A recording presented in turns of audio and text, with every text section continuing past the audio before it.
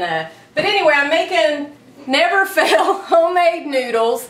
Uh, this recipe comes out of the First Baptist Cookbook from Betsy McKnight out of Arkansas City, Kansas. And I've been using this recipe for a long time. It calls for one cup of flour. And all I do is put it up here. I take the knife, I kind of cut it, and just, and then you have a cup of flour. I use a quarter teaspoon of butter, and I like butter, not margarine, and it's not, I don't measure it. so I use more than probably necessary, but it's all good to me. You use a half a teaspoon of salt, and I love iodized salt. You need your iodine, it's very important for your thyroid. So I put that in there. And I think really the egg noodles taste really good because the salt is already in them. And so you're not trying to figure out how to get the flavor into the egg noodle. And then a quarter teaspoon of baking powder. Then one egg. And I do seven or eight batches when I'm doing them. Sometimes maybe that's too much, but a lot of times I'm making them for a family reunion or for um, a church functioning or something, and so I use my big uh, roaster and stuff. But I'm making extras this time because I know my nephew is going to ask for them. Oh, put the egg in there. Then you take two and a half tablespoons of milk.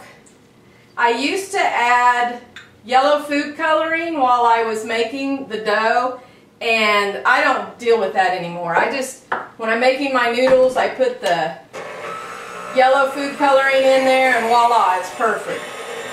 Um, I used to use a food processor and it worked a lot better. Some people believe that if you beat it too much, that it'll make your egg noodles tough.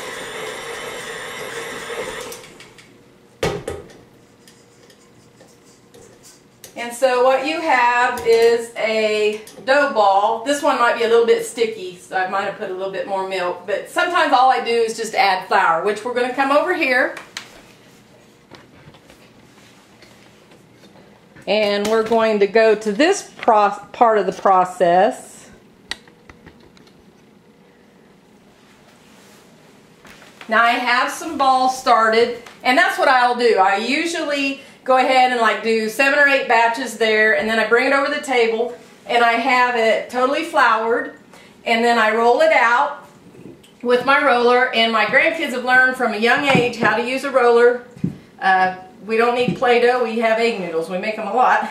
And then I have a special cutter that I can just cut and I don't remember where I found this apparatus but it's really came in handy and I've used it for a lot of years. Um, this is one of the old-fashioned types of egg noodle cutters. Uh, you would roll it out and then you would cut it with this. Um, I can remember back in the day using it. It was okay, but a little bit tough. Uh, my husband gets upset if I cut into my table, of course. Um, so on this machine, we have a flat and then we have where it cuts the actual noodle. I uh, usually run the dough through the flat and I'm showing you, you know, as if it's like process to process, but I'll usually make all my dough balls, roll it all out, and I'll have it all stacked over here. And, um, or, and then I roll it flat, and then I'll roll the noodles. So I'm just showing you in a different step. And uh, so I used to really roll them thin, and you didn't really have texture in your egg noodles. So I'm not doing that this time around. And so then I switched it to this side and I put my dough in there and it rolls out noodles. Now I know a lot of people, they use their KitchenAid one or they use, they have an electric noodle maker. You know, those are just fine. Um, really, this dough works good in just about anything. And so I make my noodles. And so I hope you can see them. Um, then after I get them rolled out, I usually lay, clean this up and lay a newspaper under there. And then I'll lay newspaper on it so that dust and stuff doesn't fall. Because it's going to take a little bit of time for them to dry out. Now they kind of need to be dried out to go in the freezer. And they can go like this batch if I used half of it I could freeze the other half and save it for Christmas time if I didn't have time to make more. Or like I said I give people some or however I want to do it but as you can see there's flour and as I'm doing this I'm going to be adding a lot more flour and people have asked me how I get my egg noodles to have gravy. When you buy your egg noodles at the store, there's no flour on them in the freezer department, but here I have lots of flour. So then when I'm scooping mine up, which um, you can cook them just like this, go straight from here into the pot. Uh, that's not going to hurt anything. Um, when I scoop them up, I'm getting flour. So obviously I'm making gravy. And um, the uh, I cook a whole chicken and I take the chicken out. Now, uh, there's lots of my family that think that there should be no chicken in your chicken and noodle, and that was a lot of the reasoning why was Grandma cooked a turkey and she used the broth off the turkey. She didn't have meat in it. And so they felt like Grandma never made uh, chicken noodles with the chicken in it, but she did. Um, but anyway, I cook it, I take the whole meat out of it. Now if I'm cooking leg quarters, they're fatty, and so I will take some of the fat off. Otherwise, I leave the fat on there. Uh, you know, I believe that a lot of us can have that. Some people can't if you want to take it off. I cook it the night before, I'll put it in the refrigerator, the fat rises to the top of the pan, and you can actually just scrape it off if you want to throw it away, throw it away. Um, then I get my water boiling, my broth, and you can add water to it and it doesn't matter.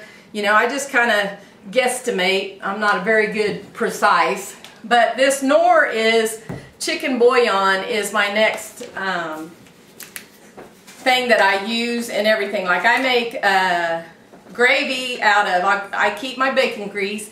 I'll take two tablespoons of gravy or so, or bacon grease and put it in the bottom of my pan and then um, put my flour, get it hot, put my flour in there, but I'll add some of this and voila, I have really great tasting gravy and it just, you know, if you don't have time or a budget, you can make a lot of good gravy out of that kind of thing.